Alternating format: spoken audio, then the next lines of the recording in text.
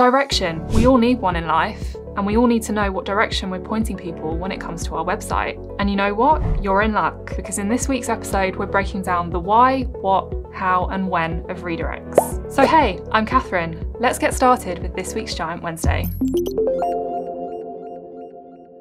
Whether you're looking to send users to a whole new page on your site or create a temporary holding page whilst you work on a redesign, redirects can help you to make sure your users always enjoy the same great experience when they engage with your website. So, what is a redirect? In the SEO world, a redirect is a process of forwarding traffic and users from one URL to another. Simple. Whether they've clicked through from a search engine, a social media post, or are a direct user, the redirect sends them to a URL of your choosing instead of the one they intended to land on automatically. This isn't an attempt to trick them, no, no, no. When to use redirects? Well, you could use redirects for a few different reasons. For example, you've updated your URL structure, you've moved or consolidated pages, you've deleted a page that has backlinks pointing to it, you've changed your website name and don't want to lose your SEO value, you migrate from HTTP to HTTPS. And you might just want to do it temporarily, such as sending users to a holding page or a different one whilst you update or fix the other.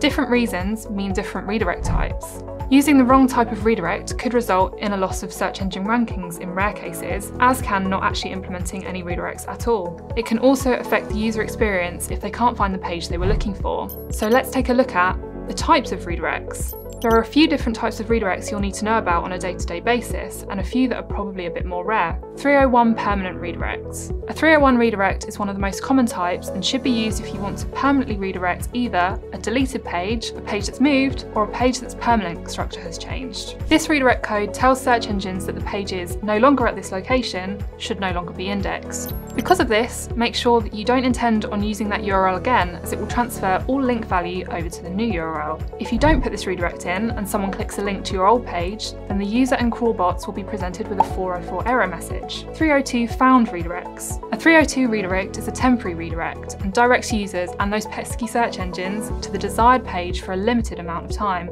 These should be used for things such as A-B testing a web page for the likes of functionality or design when a web page is broken but you want to keep up appearances. For clarity, if it's a permanent change to your website, then a 301 redirect is necessary. If it's temporary, then it's a 302 redirect. Using the right one is essential so as not to have a negative impact on your SEO. How to implement a redirect. When it comes to chucking about your 301s and 302s, you'll be happy to know that most modern CMS platforms offer their own solution or plugins to easily deal with these types of redirects. Take a look at what's built within your CMS or have a Google for the best plugins for the likes of WordPress. And that's probably all you need to know about your day-to-day -day redirects. If you have any questions, then pop a comment below. Otherwise, thanks for watching. Make sure to like and subscribe to our channel for more great digital themed content. This has been Giant Wednesday. I've been Catherine. Thanks for watching.